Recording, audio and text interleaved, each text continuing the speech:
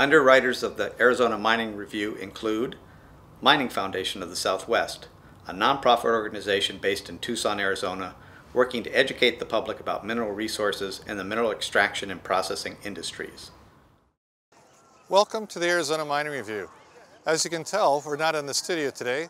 We're at Mining Day at the state capitol in Phoenix. This is a special event held uh, March 2nd to celebrate the importance of mining, its economic contribution. It's also a way to have the legislative members, their staffs, get to come out and meet members of the industry, some of our service and suppliers, and everyone gets to get acquainted and learn more about our mines. So let's go meet some of the companies that mine and supply services in Arizona.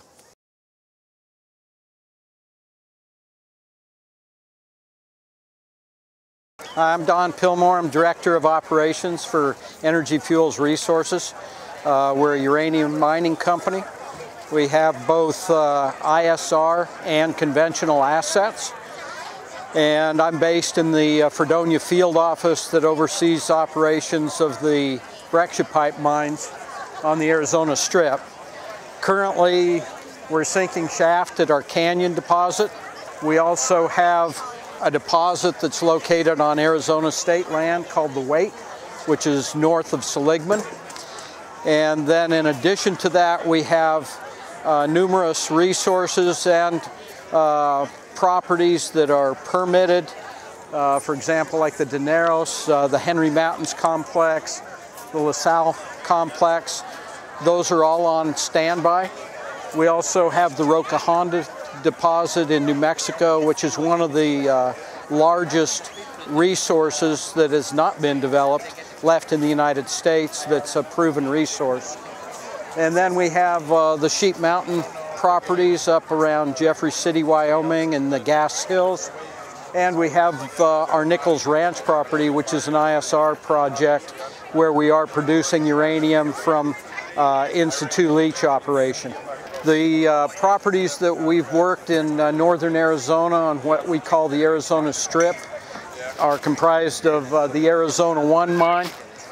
This project, uh, we had mined out the economic resource approximately a year and a half, two years ago. We do have a remaining resource, but the mine's on standby, waiting for the uh, market to recover. The Pine Nut project, which is this property here, it's located approximately 10 miles from the Arizona 1 breccia pipe. And we mined this mine out. We depleted the resource at the end of September 2015. Uh, all of the equipment and supplies have been pulled out of the mine.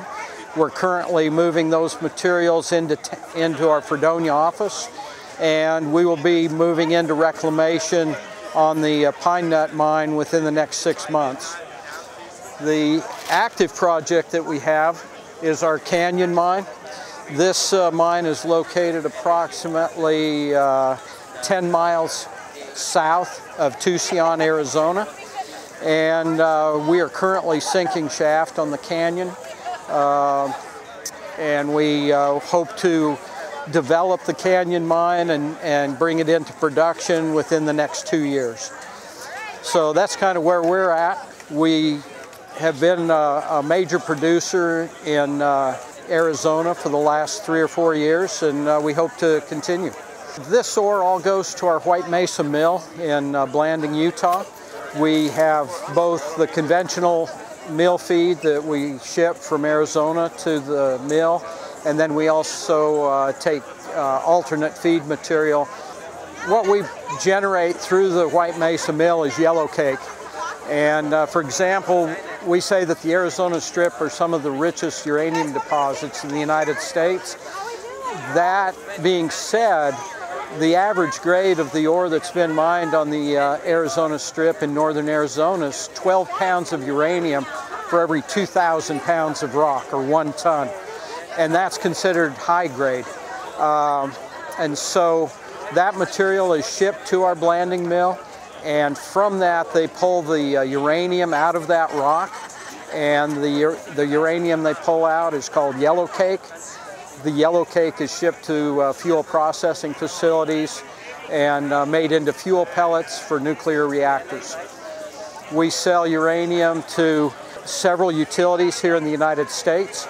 Uh, we also uh, will sell to any uh, nuclear power plant that's in the need of fuel. One thing about uranium, everybody's uranium, whether it comes from Russia or Africa or uh, Australia, Canada, all the uranium is the same. Once it becomes yellow cake, everybody's yellow cake is the same and you can make the same fuel pellets with it.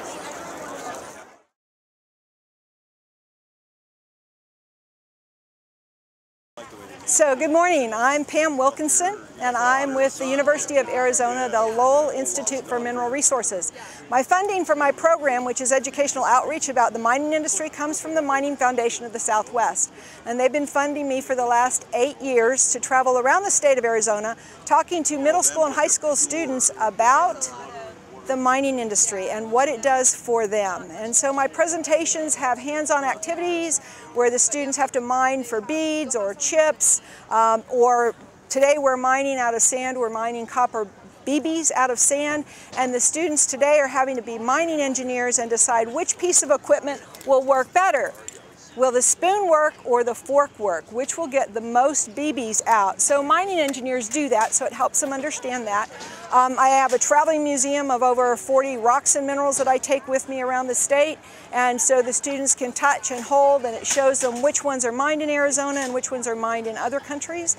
And it associates, helps them understand that their food, their clothing, their transportation, their communication, their housing, electric lighting, heaters and air conditioners, their health and their safety is all brought to them by people who extract rocks and minerals from the earth, and those people are called miners. So without miners, their food would be native plants and very small animals. Without miners, their clothing would be made out of native plants.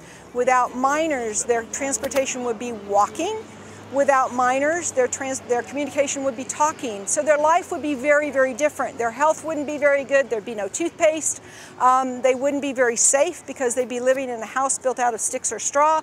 When the wind comes, it blows it down. So life in modern America is better, healthier, and safer because of the people we call miners. And through the last eight years, I started out, first year I talked to over 5,000 students uh, a year in classrooms. Last year I did over 10,000 students and I'm on track to do that again this year. There's a new Mining and Society Merit Badge that's out partnering with Freeport-McMoRan, we do merit badge workshops with those Boy Scouts so they earn the Mining and Society Merit Badge.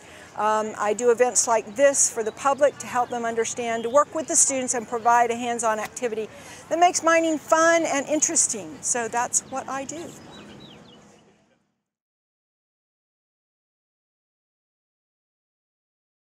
Hi, I'm Nyal Niemuth with the Arizona Geological Survey. Empire Machinery has kindly provided some large equipment for us to visit today and take a look at this 100 ton haul truck. So we'll step inside here. All right. The survey today is uh, exhibiting, announcing a special release. We've been busy digitizing our historic mine records, not just historic, relatively recent stuff as well. So in the last four years, we've taken the um, collections from the former Department of Mines and Minerals, which was um, various collections from consulting geologists, other files that had come into the department and that the department engineers had filed away. And we've taken about 26 collections, over 400,000 pages of documents.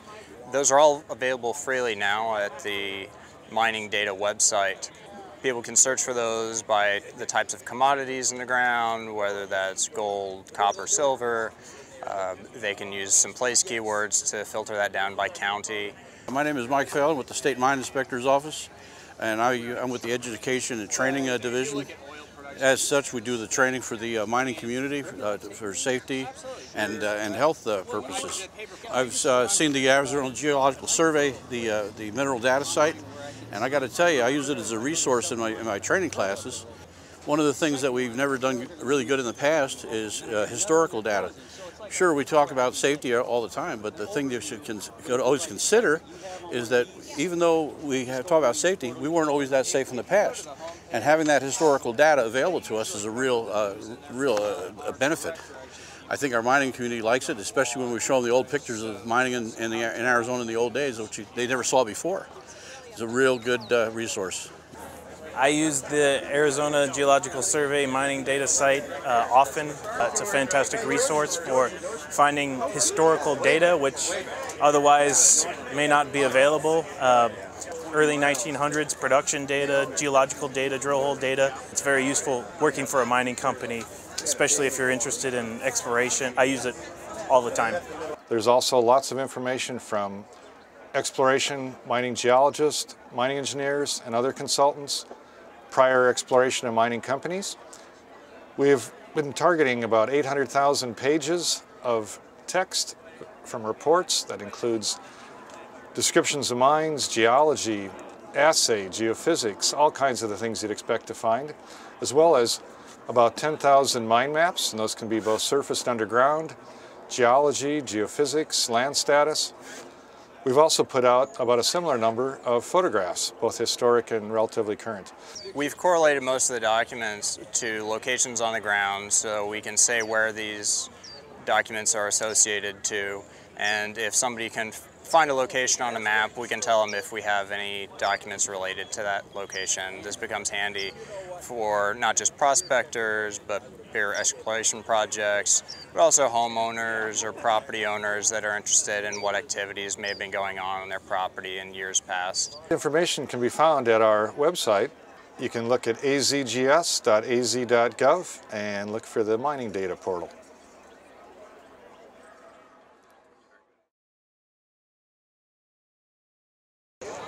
Good afternoon. I'm Dennis Sorensen, Director of Mining with Empire Southwest. We're the cat dealership here in Arizona, serving the Arizona, state of Arizona, southeastern California, and northern Mexico. We've been a cat dealer since 1950. Currently are working with, uh, under our third generation owner, Mr. Jeff Whiteman. And uh, we are here today at the Arizona Mining Day at the Capitol event here in Phoenix, Arizona. And we brought with us a 100 ton haul truck, Caterpillar haul truck, model 777G. Uh, this truck works out at the mines and as well as on construction sites, many other areas. And as a cat dealer, we support, uh, supply and support this truck uh, along with many other models for the mines here in Arizona and throughout our territory. We have a lot of uh, rebuild capabilities and rental support and uh, transportation and anything that you would need to do to service any of this equipment. So we're happy to be here today and uh, appreciate uh, everybody's time.